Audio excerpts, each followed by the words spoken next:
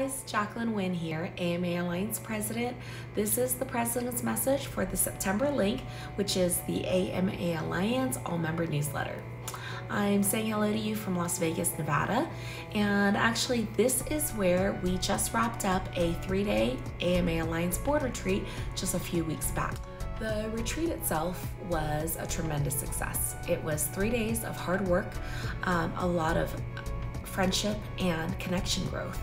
Um, in preparation for the retreat, I'd sent out a survey to all the attendees asking questions like What are your strategic goals for the Alliance for the coming years?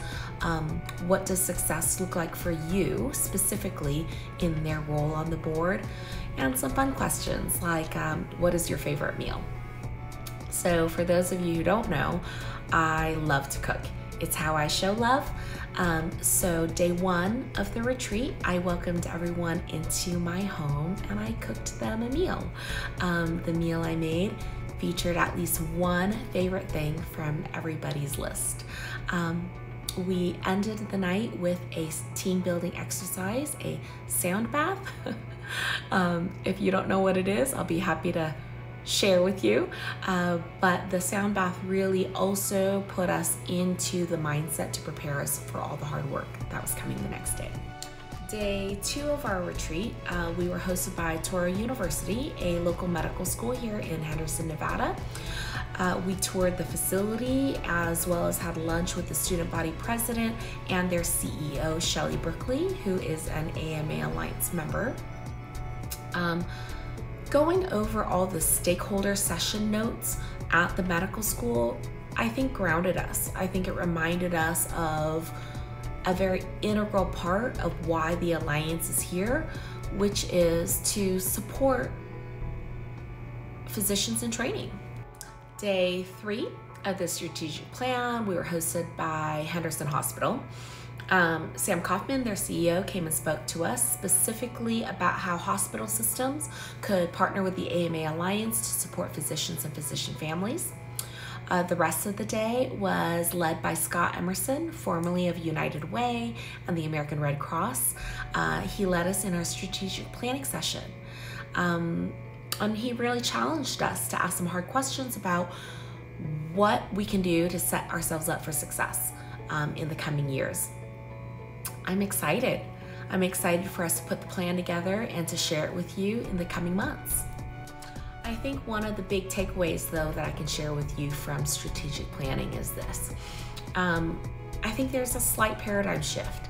Even though the AMA Alliance has always been focused on how we can serve our members, um, one thing that really came out of this weekend uh, was this idea that we want to do whatever we can to support county and state alliances as well as members at large, um, not only to amplify all the good that they already do, but what can we do to support them so that they can grow bigger and better and stronger, um, even beyond what they're currently doing.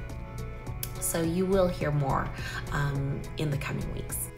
So a couple other things to share with you that I think are very exciting. Um, I'd love for you to check these out uh, now. Um, one is the AMA Alliance map. You can visit our website and take a look at this. Uh, it's an interactive map that really shows you where alliances exist all across the nation um, and connects you with your regional rep so that you can be connected to any of these alliances as well. Um, I think that this is going to grow into a great tool to um, allow all of us to connect and collaborate.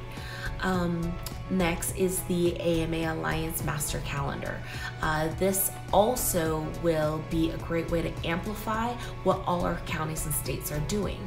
Um, on this calendar, not only will you be able to see when your AMA Alliance councils and committees meet, um, it will also show you um, important dates for state meetings coming up um, or health initiative uh, days that are coming up that are happening in every state.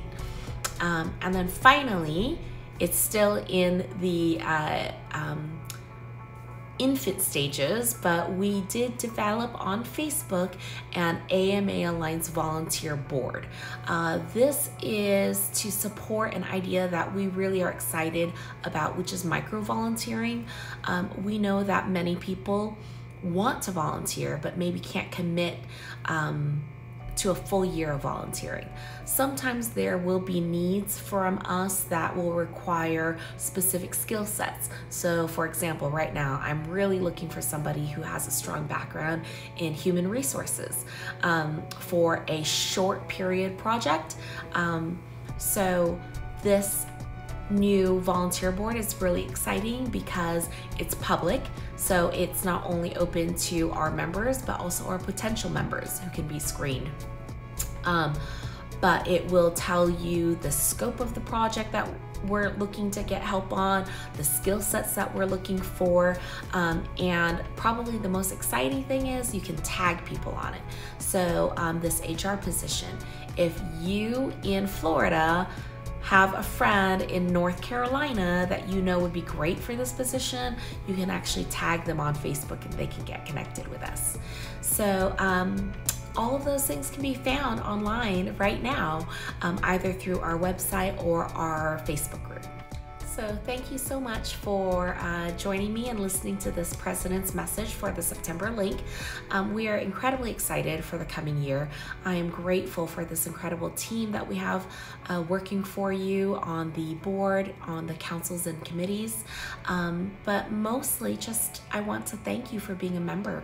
Your membership matters um, and it helps us move our mission.